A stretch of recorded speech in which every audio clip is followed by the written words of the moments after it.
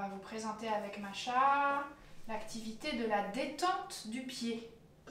On va d'abord faire un pied et puis après euh, on fera l'autre pied. Ok? C'est une petite détente du pied en quatre étapes. Euh, c'est une stimulation sensorielle, ils sont un peu froids, ouais. C'est une stimulation sensorielle, enfin tactile, qui va être intéressante euh, pour les enfants avec qui on veut travailler sur des réflexes des pieds actifs, agrippement plantaire, réflexe de Babinski, réflexe d'allongement croisé.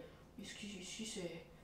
Ça bouge encore un peu chez Macha, un petit peu, le pied, tout doucement, mais c'est plutôt bien intégré euh, pour travailler sur la stabilité et aussi sur la capacité à pouvoir euh, marcher pieds nus sur des terrains variés. Parfois, il y a des, des enfants ou des adultes qui développent des hypersensibilités au niveau des pieds. Voilà.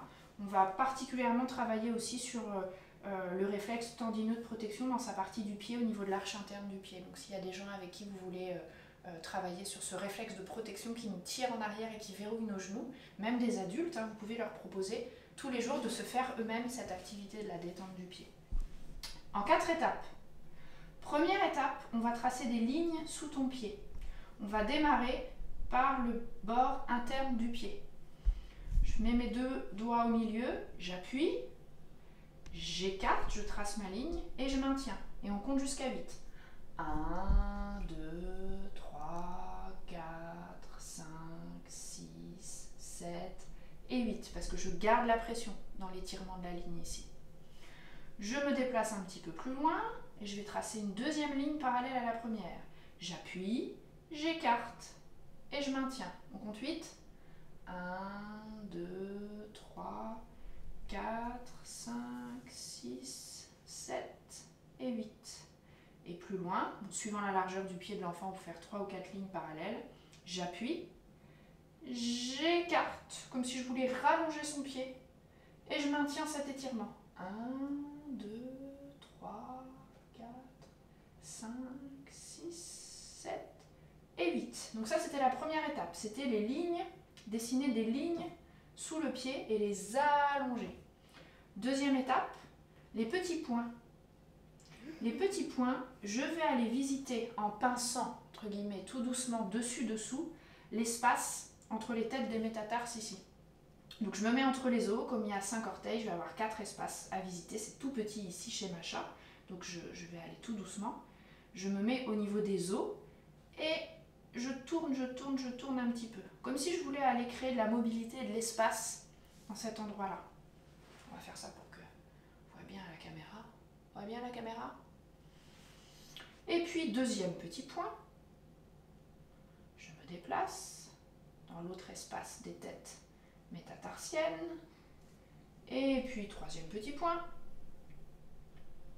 Je tourne, je tourne, je tournicote. Et quatrième petit point. Je tourne, je tourne, je tournicote aussi. Ça, c'est la deuxième étape, les points. Troisième étape, je vais... Un petit bleu Je vais déshabiller les orteils. Je peux déshabiller tes orteils Je commence par le gros pépère. Je roule, je roule, je roule le gros pépère. Alors je peux le je peux attraper côté côté. Ou dessus dessous. Il, fait des guillis, celui-là. Alors j'y vais un, petit peu comme ça. Tac et je l'étire un peu au bout. Le deuxième. Je le roule, je le roule, je le roule. Alors ça, ça va être intéressant pour travailler sur la mobilité de chaque orteil. Et puis ça réveille aussi des petits espaces inconnus. Dans notre représentation interne de notre corps, on n'a pas l'habitude de se faire toucher de se on toucher on va regarder ça à, l'ordinateur. Après, on va regarder la vidéo à l'ordinateur. Et le petit Rikiki?